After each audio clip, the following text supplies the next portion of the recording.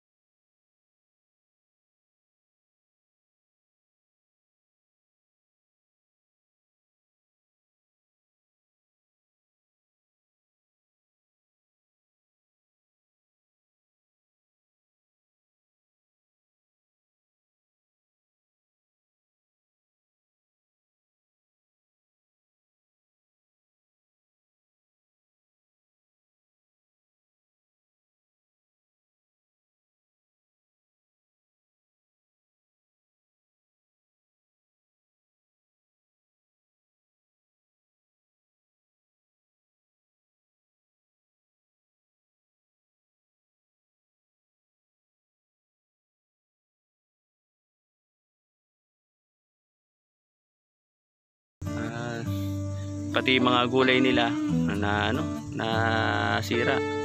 Sayang ah, mahal pa naman ang ano, ang bentahan ng gulay ngayon. Kaya ngayon pa lang ulit maano, nagpapadami. Ayan oh, yung ampalaya. Ito, ma medyo malaki na rin mga tropa ito na. Ma makakit na sa ano sa balag kung tawagin sa amin to balag yung mga ano pinagagapangan ng ano ng ampalaya yung mga maliliit na bunga ito maliliit pa lang pero saglit lang lalaki na yan Ah, ngayon bali ano muna kami pupunta kami dun sa sa ah, dating fish pond ah, ano namin ah, lilimasin namin patutuyuan namin at try natin makahuli ng ano ng mga isda mga katropa dito kasi madaming isda mga katropa eh. Ah, yun. Tingnan natin. Let's go.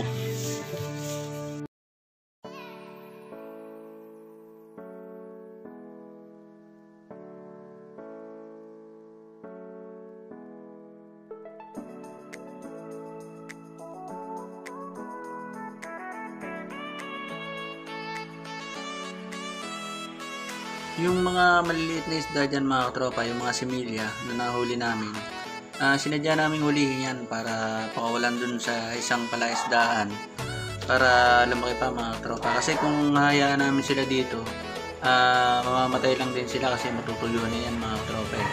Kaya pinili namin na ilipat na lang sila dun sa mas malaking palaisdaan.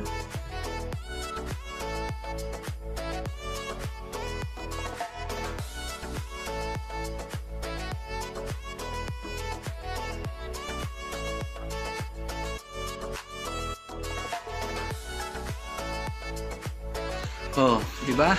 Ang daming isda mga katropa. Ah, ang sarap ng oriente. Pero syempre, hindi man ako marunong ng oriente. Yan, si kuya yung ng Pero kitang-kita nyo naman, ang daming tilapia, mga katropa. Tsaka mga ano, mga dalag. Ah, yan, samahan nyo kami, mga isda, mga katropa. Manghuli na tayo.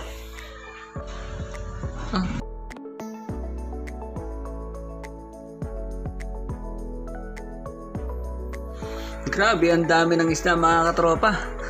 Kitang-kita niyo naman, ah, walang ma walang malang sutan yung mga isda pagka nakuryente. Sobrang dami nila.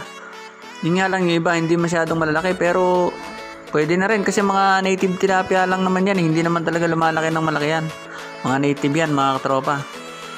Kaya kukuhanin na natin lahat ng ano, lahat ng laman ng palaisdaan na to kasi yung mga maliliit papawala natin dun sa mas malaking palaisdaan mga katropa. Ang dami, sarap pang huli mga katropa. Let's go!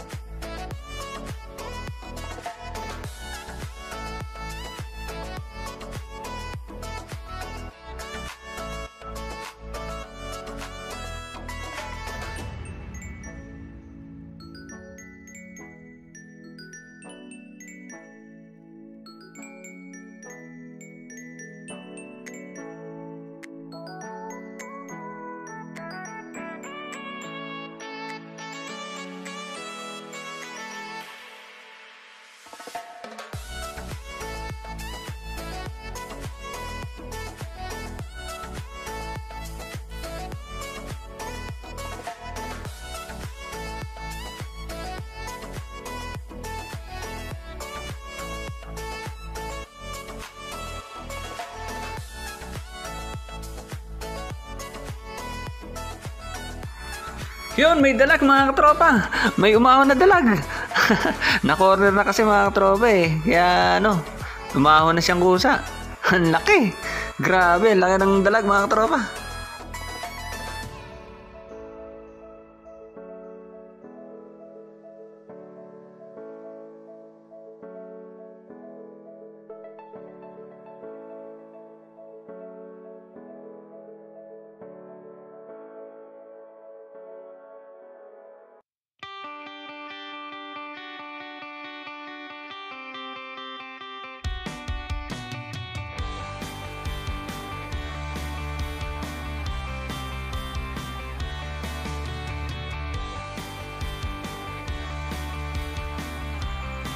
mga katropa, ah, pasensya na kung ma- ano, kung mapuputol ko yung video kasi sobrang ano, lobat na tong cellphone ko.